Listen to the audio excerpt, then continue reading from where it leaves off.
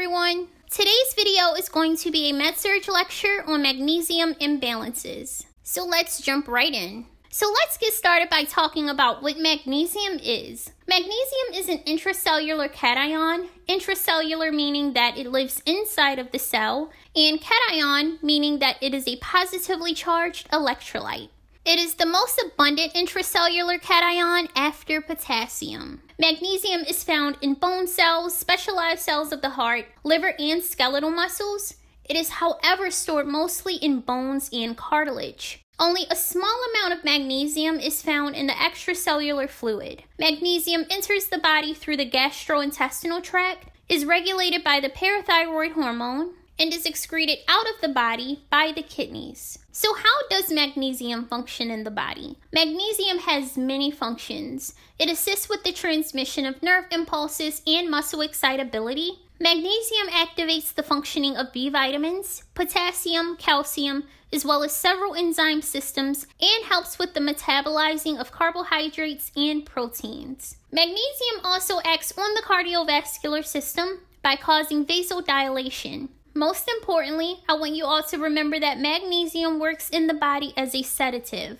Always remember that knowing how an electrolyte functions is going to help you to understand the type of symptoms you'll see in a patient with too little or too much of the electrolyte in the body. Now, a normal magnesium level ranges from 1.3 to 2.1 milliequivalents per liter. When there is a lower than normal serum level of magnesium, this is classified as hypomagnesemia. When there is a higher than normal serum level of magnesium, this is called hypermagnesemia. So now that we have an understanding of what magnesium is, let's begin by talking about hypomagnesemia, which is when there is a serum magnesium level below 1.3 milliequivalents per liter. Let's first go over some potential reasons why hypomagnesemia may occur, starting with alcohol abuse. Ethanol, the main ingredient found in alcohol, acts as a diuretic, which pulls magnesium and other essential electrolytes out of the body, eventually depleting the amount of magnesium that the body has stored.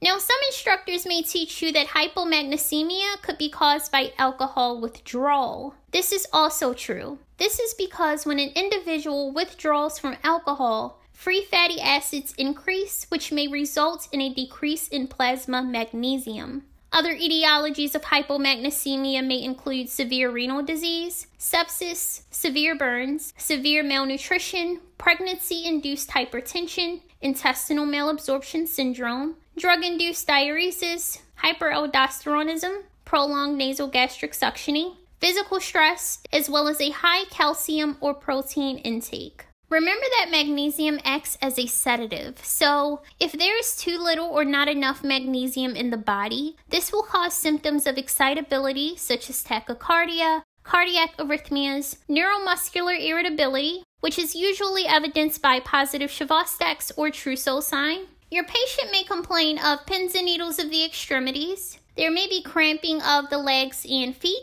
as well as tremors, tetany, altered mental status, hyperactive deep tendon reflexes, dysphagia, or seizures. To medically correct hypomagnesemia, the patient may be given magnesium salts either orally or parenterally. Magnesium rich foods may also be encouraged. You could teach your patient about foods that are rich in magnesium, such as green leafy vegetables, whole grains, nuts, cocoa, chocolate, soybeans, seafood, dried peas, and beans. If your patient has a severe magnesium deficit, magnesium sulfate may be prescribed intravenously. So let's talk about some things you would do as the nurse to care for the patient with hypomagnesemia. You should first assess, assess for arrhythmias and early signs of neuromuscular irritability, Again, assessing for neuromuscular irritability can be done by testing for a positive Chvostek's or Trousseau sign. You're also going to want to assess your patient's level of cognition. Now, this is very important. If your patient is receiving magnesium sulfate via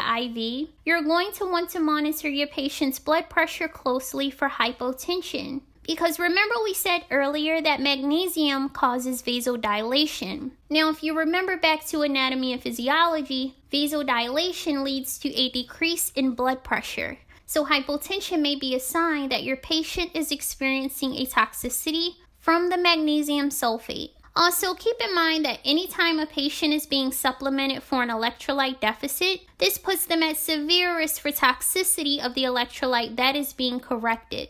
So, for example, in this scenario, your patient is being treated for low magnesium. Administering magnesium sulfate puts them at risk for hypermagnesemia, which is too much magnesium in the body. For this reason, the nurse should be aware of the antidote for magnesium sulfate, which is calcium gluconate. Now, if the patient begins to experience dysphagia, you will want to consult with the physician, dietitian, or speech therapist they may require you to crush your patient's medication or administer meds parenterally or enterally. Now we're done discussing hypomagnesemia. Let's move on to hypermagnesemia, which is when there is a serum magnesium level above 2.1 milliequivalents per liter. Now let's go over some etiologies behind hypermagnesemia. Patients with renal failure may experience hypermagnesemia since the kidneys may not be able to adequately excrete magnesium in the urine. Because, as we said earlier, magnesium enters the body through the GI tract but is excreted in the urine. So, being able to eliminate magnesium may be a problem for patients with renal failure. Other causes include Addison's disease, which is also known as adrenal insufficiency, excessive use of antacids or laxatives that contain magnesium, as well as hyperparathyroidism.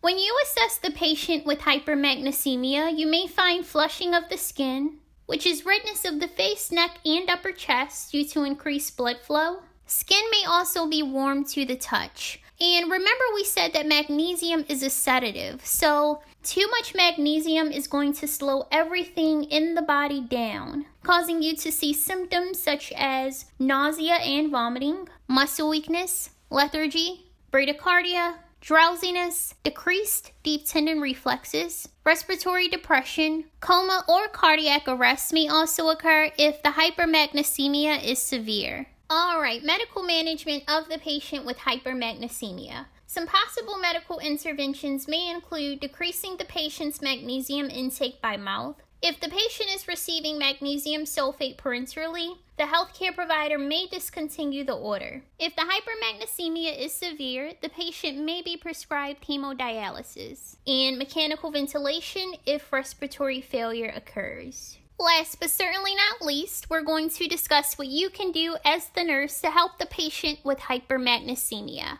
Also, the PDF to this video will be down below in the description, as well as the link to download the lab values you need to be successful in MedSurg.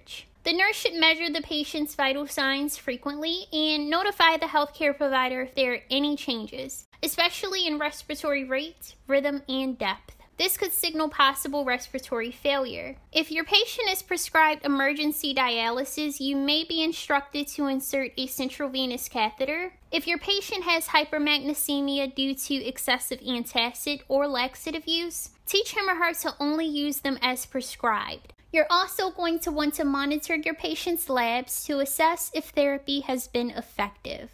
Okay, everyone, that brings this video to an end. Please be sure to like, comment, share, and subscribe. Remember to never give up, and as always, thanks for watching.